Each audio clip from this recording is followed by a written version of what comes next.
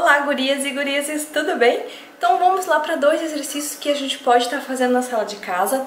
Serão dois exercícios que vai trabalhar a coxa e o bumbum, porque eu recebo muitos pedidos para que eu mostre exercícios que trabalhem coxa e bumbum.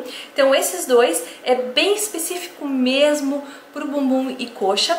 Eu gosto de fazer sempre interligado os dois exercícios. Eu faço no chão, depois eu faço de pé pode parecer complicado, né, eu falando assim, mas eu tenho certeza que vocês vão entender quando eu for mostrar o exercício. Eu já peço desculpa pela luz ou pelo áudio que não vai ficar legal, mas é como eu sempre falo, né, o importante mesmo é eu conseguir passar o exercício para vocês.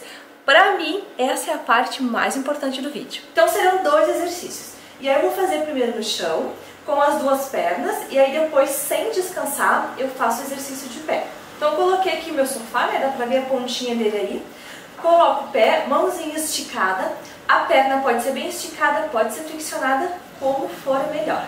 E aí eu vou subir, é, colocando força na minha coxa e também no bumbum, assim ó.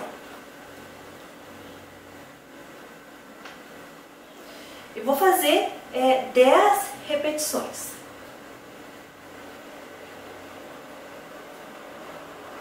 Fez as 10, troca a perna.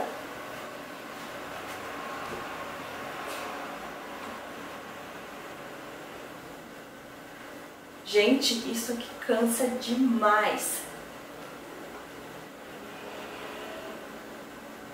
Agora, sem descansar, eu vou fazer o exercício de pé. No mesmo sofá, apoia a perna, sobe e desce 10 vezes, assim. Vai trabalhar muito essa parte aqui da coxa e bumbum também.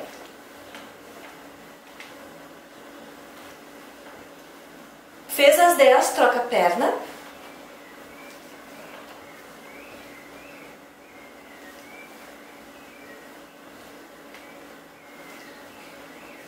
Acabou, descansa 30, 40 segundos, volta pro chão e faz o mesmo exercício do início. Então, gente, eu devo estar bem descabelada, mas eu terminei as minhas séries é deitado e de pé.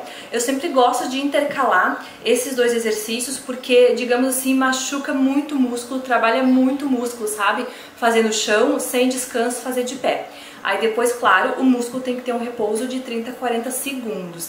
Mas quem quer optar por fazer primeiro as três séries de 10 deitadinha no chão, aí depois fazer é, as três séries de 10 em ali no sofá, tranquilo também. Fica a critério de cada um. Então eu espero muito que vocês tenham gostado do vídeo.